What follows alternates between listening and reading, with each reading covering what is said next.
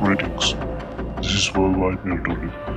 Let's find the building capabilities of these two incredible countries. Make sure to subscribe to catch more videos like this. Now, let's dive into the comparison.